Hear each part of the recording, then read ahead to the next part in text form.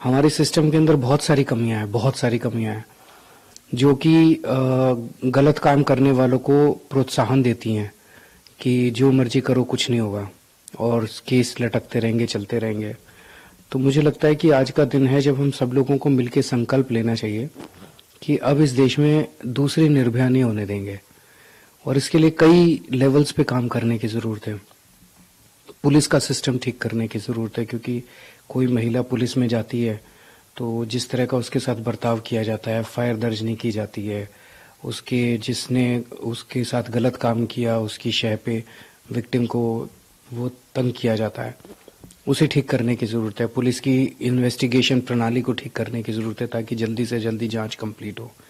Judicial system ठीक करने की ज़रूरत है, ताकि सात साल साल, सात सात साल ना लगे, छह महीने के अंदर मामला निपट के और दोषियों को फांसी होनी चाहिए।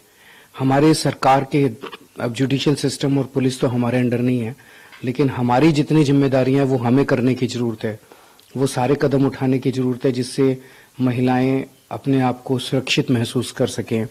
पूरे दिल्ली में सीसीटीवी कैमरे हमने लगाने हैं, लग रहे हैं। पूरी दिल्ली में जहाँ जहाँ डार्क स्पॉट्स है, वहाँ पे स्ट्रीट लाइट्स लगानी है। और भी जो जो कदम दिल्ली सरकार को बसों में मार्शल्स की नियुक्ति है, हुई है जो जो कदम हमारे जितने काम है वो हमें करने की ज़रूरत है। तो मेरा ये उम्मीद करता हूँ कि आज का दिन जो है, ये एक संकल्प के रूप में लेना चाहिए कि हम सारे मिलके ऐसा सिस्टम बनाएँगे कि कोई हिम्मत ना कर सके, दोबारा निर्भया की तरह और दूसरी निर्भया नहीं होनी चाहिए।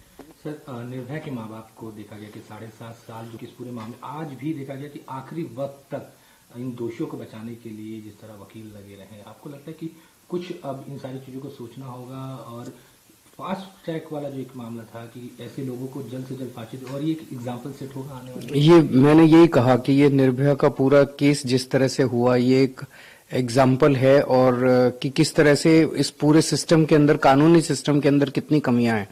हमारे कानूनों में कितनी कमियाँ हैं जो कि दोषियों को मदद करती हैं और जो कि विक्टिम को न्याय दिलाने में कितनी देरी करती हैं।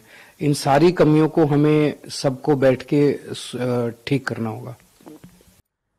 तो अरविंद केजरीवाल, दिल्ली के मुख्यमंत्री, जिनका ये कहना है कि अब कोई और निर्भया ना हो, इसको सुनिश्चित किया जाएगा। इसके साथ ही एक संकल्प के तौर पर हमें आज के दिन को लेना चाहिए कि और कोई निर्भया ना हो और फिर ऐसी कोई दरिंदगी ना हो। देश में बेटियों के साथ इस तरह की दरिंदगी सामने ना आए, सुरक्षा को पुख्ता किया जाएगा। इसके साथ ही बतलाया कि दिल्ली की सरकार कितना गंभीर है इस मामले को लेकर।